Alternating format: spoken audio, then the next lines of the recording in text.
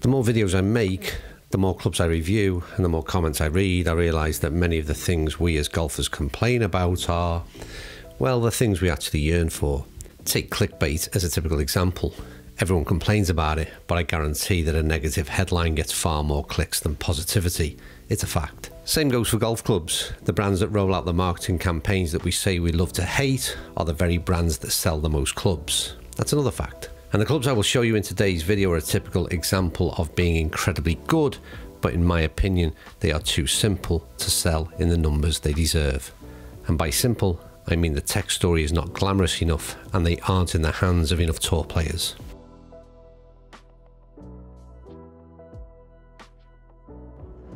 So the biggest question I have for you in this video is quite simply, why do more and more golfers not use the Mizuno 245 and if I've got that one wrong then please do let me know in that comment section below because I firmly believe that many more of us should be giving these a go.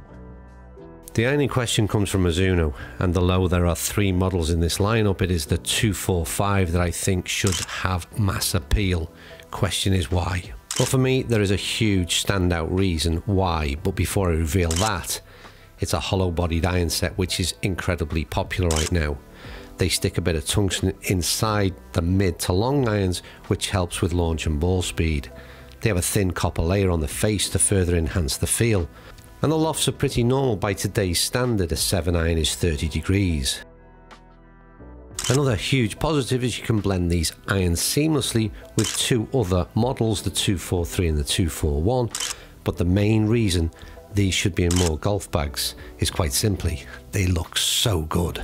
Arguably one of the best looking irons ever released in my opinion. A blend of old school blade with a bit of muscle to provide a visual confidence, minimal markings making this an iron of the ages.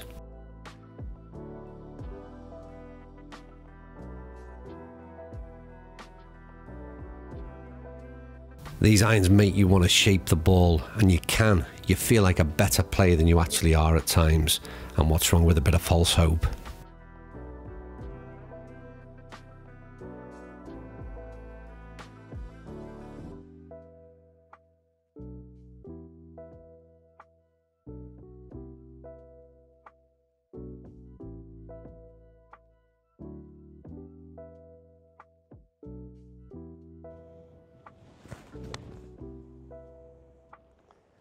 Sit down. Oh, do you know what? One thing I will never question is just how good Mizuno's feel. We all know that's their thing. But the 245, let's not forget it's a hollow bodied iron. What I just hit there with a 7 iron, and that contains tungsten in it. So there's a possibility that you would lose some of that sound and feel in what you wouldn't get in a grain flow forged iron. But that's not the case in the 245s. They do such a good job They've added that layer that I've mentioned about the copper in between the, uh, the face and whatever it does, it just sounds so, so pure. And what they've achieved in the feel and sound is incredible. So the question is, why aren't they in more golf bags? Well, quite simply, if you go back to the original conversation, lack of tour visibility, lack of big tour players' names has a huge impact. Also, that marketing campaign is never as big and as glamorous as some of the other brands. And as I said, there's a lot of things that we complain about that we actually buy into.